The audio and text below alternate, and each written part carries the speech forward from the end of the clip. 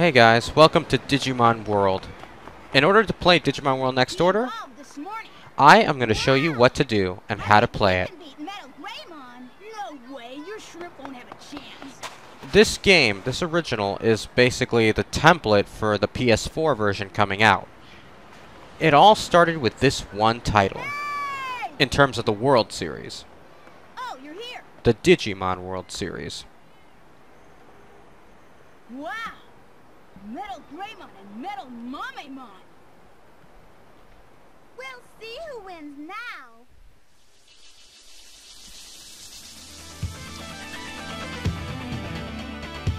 This is where it all began.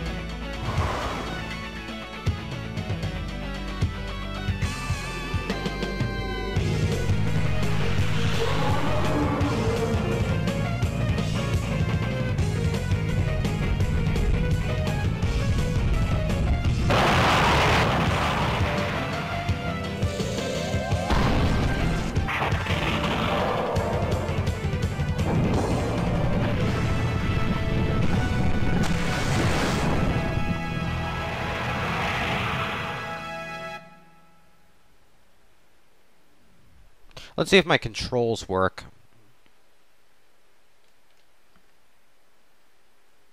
And they don't.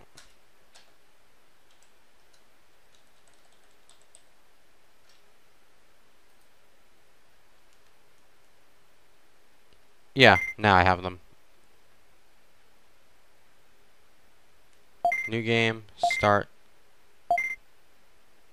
Hmm. Well, here's what I'm gonna do. I'm gonna get the first cutscene in, and then I'll make another video for my old save file. Which, let's face it, I mean they're both the same file practically. I don't have any progress made, but I will. Yes, do we have a Digivice? I see. Next question: Which do you like better, day or night? Day. What's your name? Uh, let's see. Well, I do want to call myself Action Gamer, because that's kind of the name I'm running with now. You know, I'm just going to put in my actual name.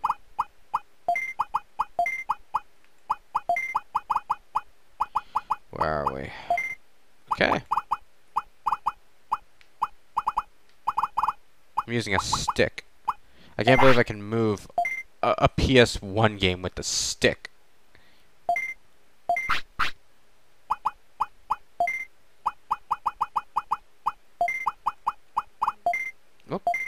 Oh, oh boy. I made a mistake. Back.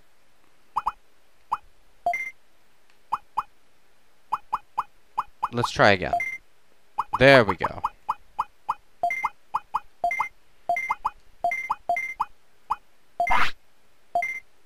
Yep. That's all the questions he has. Alright, let's see. Let's observe the cutscene, so that I may get down to explaining how this works.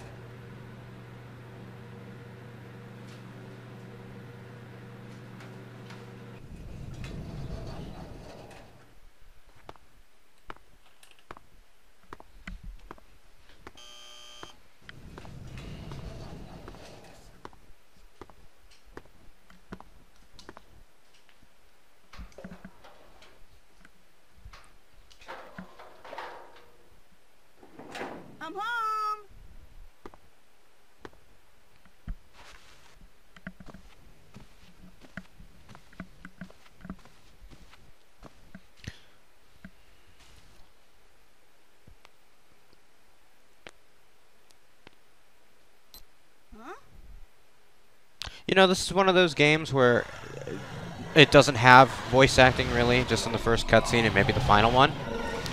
They could probably get um have gotten away with this today, or who knows. I mean, I personally don't feel Digimon in this game that the lack of voice acting impacts the performance of the game. I think it's, I think I like it where it is. Although I do love hearing Mona Marshall? In the Digimon franchise.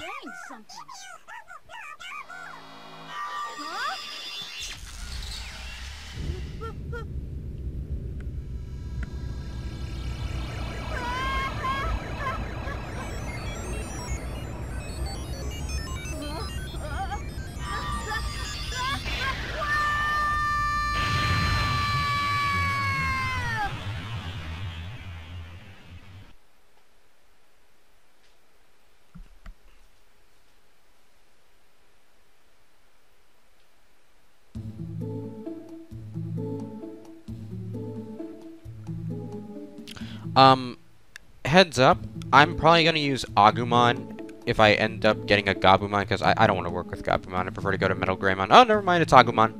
Okay. The Digimon that's chosen for me. Here, right. Well, I'm not gonna read this. I'm gonna let you guys do it.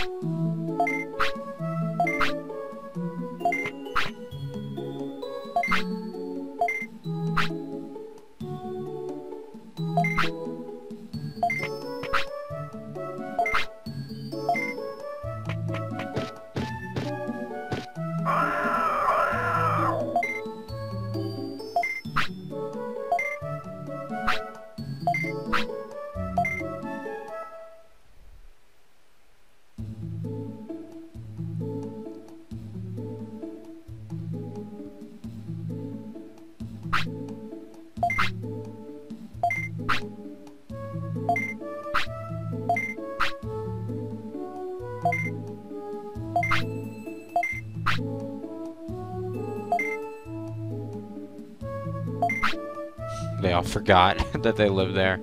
Uh, do these Digimon have Alzheimer's? Oh, uh, and that's not meant to be a wisecrack at the expense of old people. I like old people.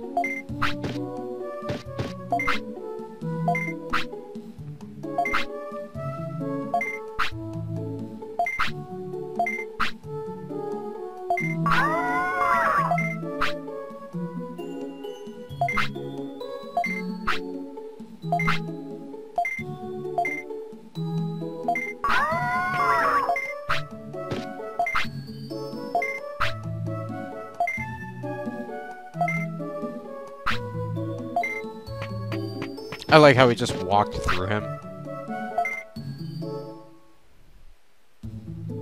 Okay, I'm going to explain a few things. First, I want to check the quality of my video. Actually, you know what? I guess I can talk a little bit to the Digimon and to the viewers here. Surroundings of the city. Native forest surrounds the city. The Digimon there aren't very strong. The training camp on the west side, which is left in this case. Le like, exactly where the character is facing in his direction. Uh, tropical jungle is on the east side, which would be to the right. There's a mountain and lake on the west side, and it's a dead end. If you keep going south, there's an ocean. There's a high mountain in the north. So if west is to the left in this case, and east is to the right, then south must be... Because I'm trying to think. Oh, hold on. Let me read the text. To myself, anyway.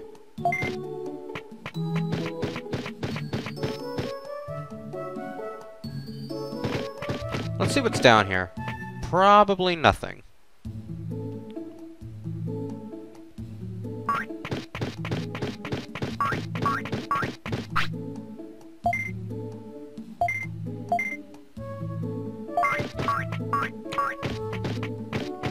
And there's really nobody here.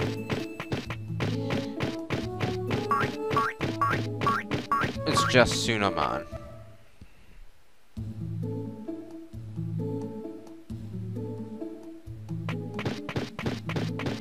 Yeah, so anyway, part of Digimon World is not just building a city. It's to feed your Digimon, let it grow.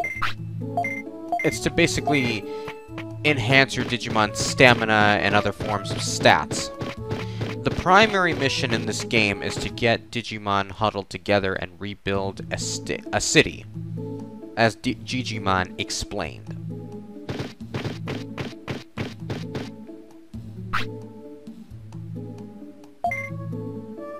Shops that are useful. You should just explore native forest just outside the city. Items. Okay, so look up the item menu by pressing the triangle button and select an item by pressing X.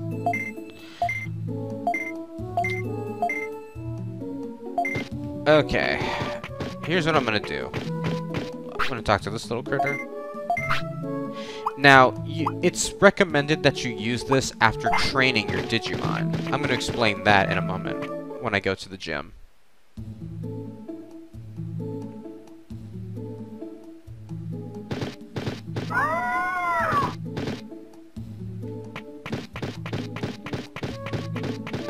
Is there anyone in here? Oh wait, we can't do that. We can't go there.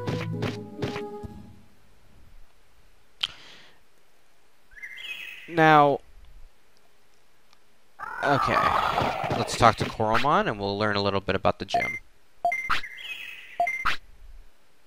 Digimon can boost their abilities, and they can also boost in battle, but not by very much. And now it's time to feed Agumon.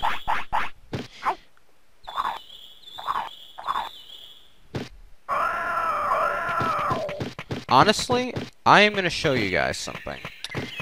I'm going to discuss this a little bit while Agumon is training. What I am hoping for is to get Greymon, but the requirements are a little heavy.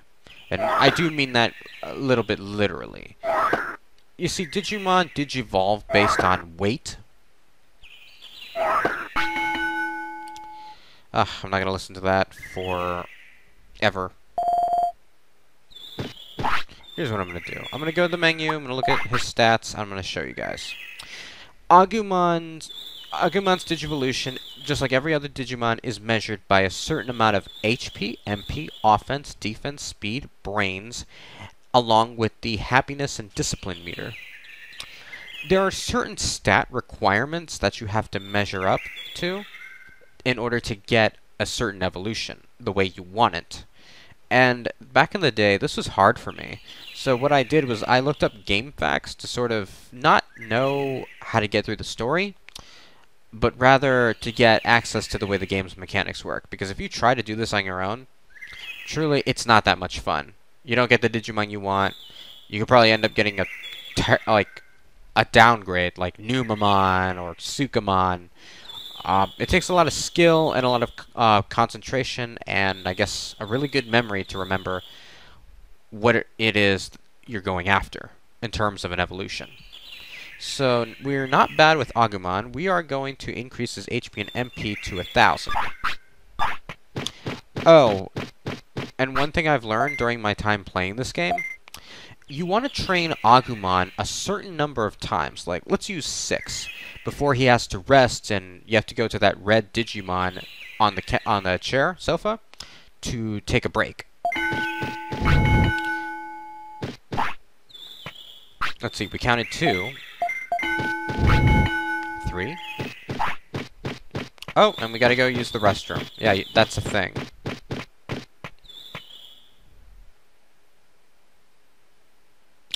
So, what I'm not going to do is show you guys how to train the Digimon, because sometimes I tend to slip up, and there's no guarantee that Agumon will evolve into Greymon. Because that's the Digimon I'm after, so I can go pick on, I don't know, the little ones and fight them and get them to join my cause. So, what I'm going to do is stop here, and let me see, I counted three times, so I can go three more in the gym. I guess all I can do now is just keep leveling up, try to get Agumon's HP and MP and all those other stat boosts up a little bit. And there's a certain requirement for Greymon. The care mistakes, which, by the way, are when you allow your Digimon to go to the bathroom outside the toilet, that's a mistake. Um, the body weight has to be 30 grams, which means you can't feed Agumon too much food well, I mean, you can in this case, but not over 30. Um, the care mistakes have to be between 0 and 1. The offensive power, the defensive power, the speed, and the brains all have to be 100. And your discipline gauge, your uh, the little gauge at the bottom right corner with the smile and the glasses. That's actually one of the most important areas of the Digivolution mechanic. What you really need to do is get that happiness all the way to the end when it's blue. I mean, you need to make sure that it fills up correctly with the correct color. You see, if you fill it up with pink, you're, that means you're in, in the red, the, the negative area, and you don't want to do that. what you really want to do is try to increase happiness and discipline to get it completely blue, or as much as you reasonably can. Oh, and there's also a little virus gauge. That virus gauge represents your Digimon using the bathroom outside of the toilet. If you fill that up, you'll end up with a very, um, terrible Digivolution. You'll probably get Numemon or Sukamon. Oh, but um, what they do in this game is a different story for a different day. So what I'm going to do now is train Agumon and see if I can evolve him to Greymon. If not, I'll have to make the best with the Digimon I've got. Okay, see you guys next time.